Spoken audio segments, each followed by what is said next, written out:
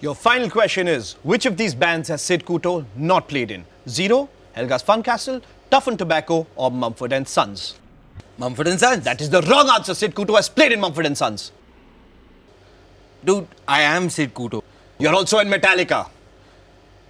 Am I? You're also in Pink Floyd. Maybe. You are Norah Jones. Dude, I'm Sidd Coutto. Who are you? What is Sidd Coutto? You're nothing. You win nothing. You're a loser. Roti banega salega. Roti banega, huh? That's all we have time for, ladies and gentlemen. Come back next week, same place for our show called We Know Nothing About Musicians because we're comedians. Up next, Baba Sehgal, aka Sidd Coutto. Good night. Dude, I'm Cadbury Bournville Not So Sweet Nights with Tough on Tobacco versus AIB comes to the High Spirits Cafe Pune 4th of September. Be there.